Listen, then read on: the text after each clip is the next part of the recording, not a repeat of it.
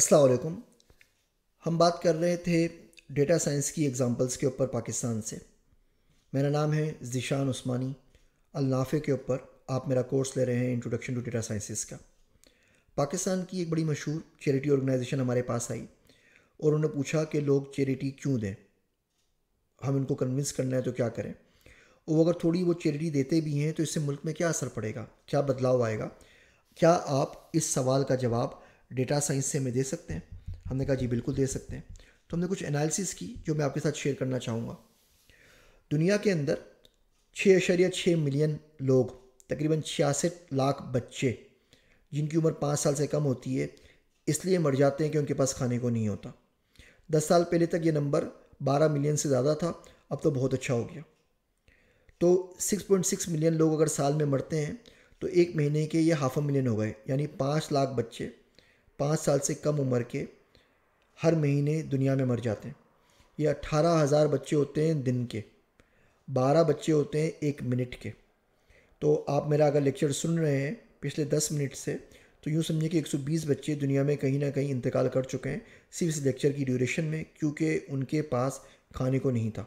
अब दुनिया में कहीं हो रहा है तो परवाह नहीं होती। आप सोचें, आपके शहर में ऐलान हो कि कराची स्टेडियम में, इस्लामाबाद स्टेडियम में, मुल्तान ईदगाह में अट्ठारह हज़ार बच्चे जमा हैं उनके लिए रोटी पानी चाहिए। और सुबह फजर पे ऐलान हो और कहा जाए कि मगरिब तक अगर रोटी का बंदोबस्त नहीं हुआ तो मगरिब पे सारे के सारे मर जाएँगे।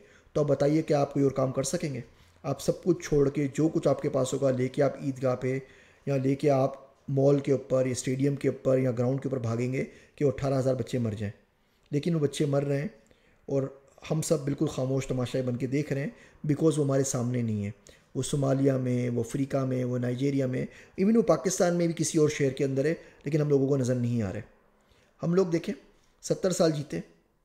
अगर हम चालीस रुपये भी कंट्रीब्यूट कर दें दिन के तो ये तकरीबन बारह सौ रुपये बनते हैं महीने के। चौदह हज़ार चार सौ रुपये बनते हैं साल के। तो हम में से हर शख्स अगर कुछ बर्गर कम खाए तो एक मिलियन दे सकता है ज़िंदगी के अंदर, बहुत आराम से। देखिए हम लोग आठ घंटे रोज़ काम करते हैं। ये चालीस घंटे बनते हैं हफ़्ते में, ये तकरीबन एटी फोर थाउज़ेंड बनते हैं चालीस साल की वर्क हिस्ट्री में। इस पर बहुत बेहतरीन वेबसाइट है, उसका नाम है एटी थाउज़ेंड आवर्स आप ज़रूर देखिएगा। तो अगर आपकी सिर्फ़ दस हज़ार रुपये सैलरी है तो इसका मतलब हुआ आप उनसठ रुपये कमाते हैं घंटे के। यानी कि आप चालीस साल में तकरीबन तकरीबन अड़तालीस लाख रुपये कमाएँगे। अगर आपकी तीस हज़ार रुपये सैलरी है और पूरी ज़िंदगी सेम सैलरी रहती है तो आप साढ़े चौदह मिलियन कमाएँगे। और सिर्फ़ पचास हज़ार भी है तो आप चौबीस मिलियन कमाएँगे। तो उसमें से मिलियन निकालना कोई बड़ा मसला है नहीं। अगर आप एक मिलियन पी भी निकाल देना तो आप तकरीबन दो लाख लोगों की ज़िंदगी में बदलाव ला सकते हैं। आप सौ लोगों की आँखें सही कर सकते हैं वो लोग जो नाबीना है, जो नहीं देख सकते। छोटी सी सर्जरी करवा के। मोतिया हो गया है कोई और बीमारी हो गई है। आप तीन माओ की ज़िंदगी बचा सकते हैं सिर्फ़ ग्यारह डॉलर के अंदर। असल चीज़ है कि आप किसी की मदद करना चाहते हैं या नहीं चाहते। तो इन तमाम चीज़ पे सोचें डेटा साइंस ज़िंदगी के हर हर मौजू पर, हर हर मसले पर आपकी हेल्प करता है। होना सिर्फ़ ये चाहिए कि आपको पता हो कि उस मसले को डेटा की नज़रों से कैसे देखना है और वो कौन से टूर हैं जिनको इस्तेमाल करके आप डेटा को वहाँ पे लगा सकते हैं और डेटा से कुछ सीख सकते हैं। अगले लेक्चर के अंदर हम बात करेंगे ये तमाम जो एनालिसिस मैंने आपको दिखाई हैं, ये अगर आप खुद से करना चाहें तो कैसे कर सकते हैं।